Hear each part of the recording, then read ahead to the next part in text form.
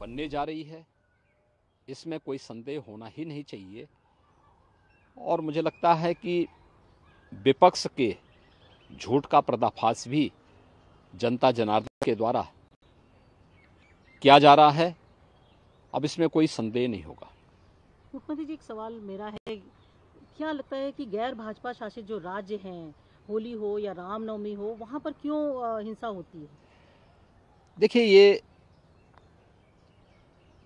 तुष्टीकरण की नीतियों का दुष्परिणाम है।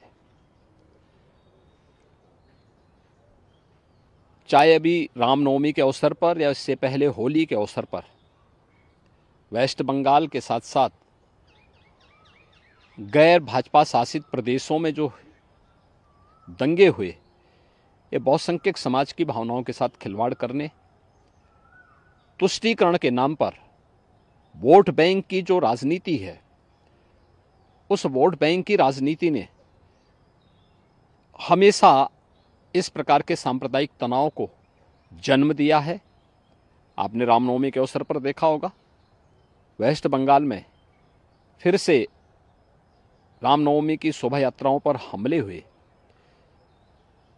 ये चिंता का विषय भी है और साथ साथ देश के लोगों के लिए एक संदेश भी है कि ये लोग जब शांतिपूर्ण तरीके से निकलने वाली शोभा यात्राओं को ही सुरक्षा नहीं दे सकते हैं तो बहन बेटियों को,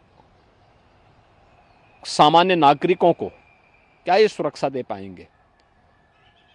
और ये चुनाव सबसे अच्छा अवसर होता है जब हम इन तथाकथित सेकुलर लोगों को दलों को अपने मत से स्पष्ट संदेश दें कि नहीं अगर हमारी भावना के साथ खिलवाड़ करोगे अगर सुरक्षा में सेंध लगाने वालों को प्रश्रय दोगे तो फिर हम भी उसी प्रकार से तुम्हें चुनाव में जवाब देंगे। सर आज छत्तीसगढ़ जा रहे हैं आप सर क्या कहना चाहिए देखिए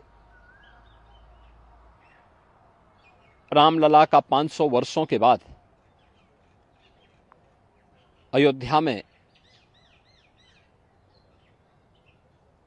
आगमन